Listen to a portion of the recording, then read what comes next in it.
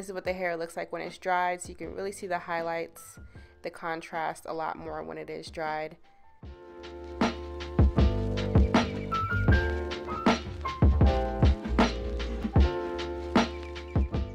So I'm putting my wig into sections right now. I have a top section, two on the side by the frontal area, and then I'm going to have two in the back. So getting a piece about this wide, you want to go ahead and brush the hair through. Make sure you don't have any tangles or anything like that. And grab a one inch curling iron.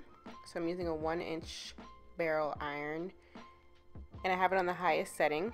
The first pass is to smooth and straighten the hair and then the second time around I'm going to drag drag is a bad word I'm going to slide the barrel iron all the way down to the ends and then start winding it up so once you do that and hold it on there for about 10-15 seconds and then let it go it's going to be a really loose big curl and how you get it to be um, bigger and more full and keep the volume for a really long time is pin curl it. So I don't really have like the, the technical tools that you're supposed to use for pin curls. I just use these clips. I feel like it works fine. And the cool thing about these big clips is that when you do two of them side by side, they're long enough so that you can actually roll it up and use the same clip for two.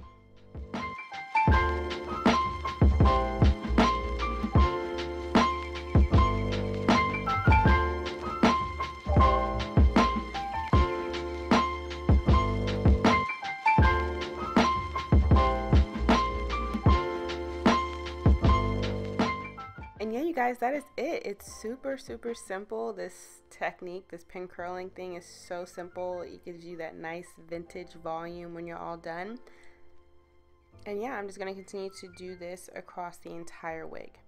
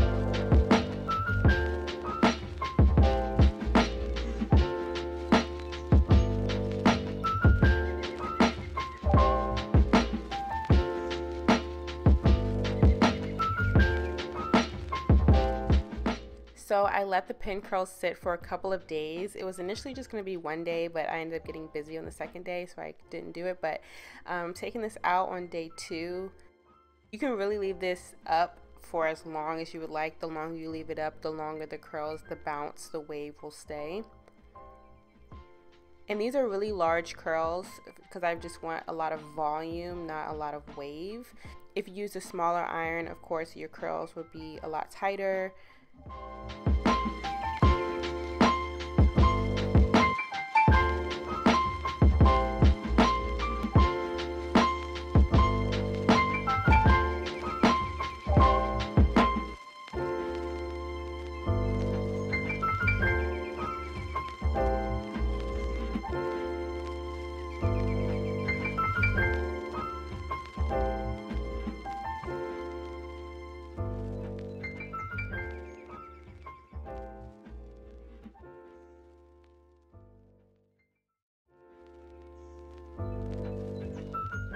But yeah, this is how it looks when I take all of the pins, clips, whatever out.